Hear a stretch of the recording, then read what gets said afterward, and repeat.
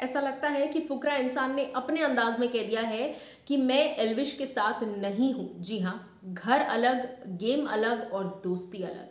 Well hello guys and welcome to FIFA फूज मैं ज्योति नाहक। आप सभी को बता दूँ कि लाइव फ़ीड में अभिषेक मल्हान जो है वो एलविश के बारे में बात करते नज़र आए। जिया भी साथ में थी, फलक भी वहाँ मौजूद थी और वहाँ पर अभिषेक ने क्लियरली एक बात बोली कि जिन भी लोगों को ये लग रहा है कि एलविश कुछ भी करेगा, मैं उसको सपोर्ट करूँगा।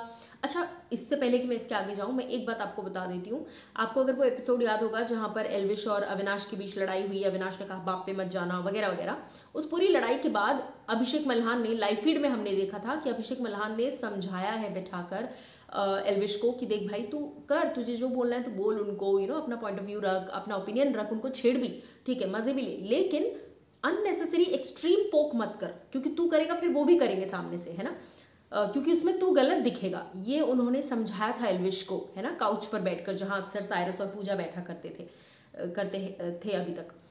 लेकिन बिग बॉस ने एपिसोड जब आपने, मैंने देखा तो बिग बॉस ने वो सीन ही कट कर दिया। तो क्लियरली बिग बॉस ये तो दिखा रहे हैं कि भैया अभिषेक कुछ समझा ही नहीं रहे।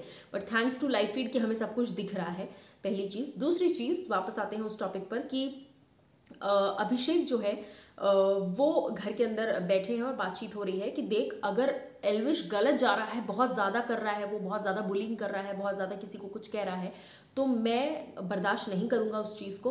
अभिषेक कहते हैं कि अगर एलविश बदतमीज़ी करेगा तो मैं उसके अगेंस्ट भी खड़ा रहूँगा, मुझे किसी का डर नहीं है। अब ये बात फुकरा इंसान ने तब कही है जब उनके दिमाग में ये बात ऑलरेडी क्लियर है कि एलविश का सिस्टम कह लो या एलविश का फ़ैन बेस कह लो या एलविश का सब्सक्राइबर बेस कह लो, बहुत बहुत तगड़ा है। जी हाँ 18 से 19 करोड़ उनके सब्सक्राइबर्स हैं which is a huge deal और इस चीज़ पर जो है अभिषेक मल्हान ने कहा कि सही अगर होगा तो साथ दूँगा और अगर गलत होगा तो डंके की चोट पर उसके अगेंस्ट खड़ा रहूँगा। ये बात सुनकर वाकई मेरी तरफ़ से तो मुझे लगता है कि मुझे कहना चाहिए दैट हैट्स ऑफ़ टू फुकरा इंसान। वाकई घर के अंदर वो बंदा हर दिन दिल जीत रहा है यार। यूट्यूबर्स के लिए एक अलग ही रिस्पेक्ट जो है, वो पहले भी थी ऑफ़ कोर्स लेकिन अभिषेक मल्हान को देखकर ऐसा लगता है कि ऐसे भी लोग हैं।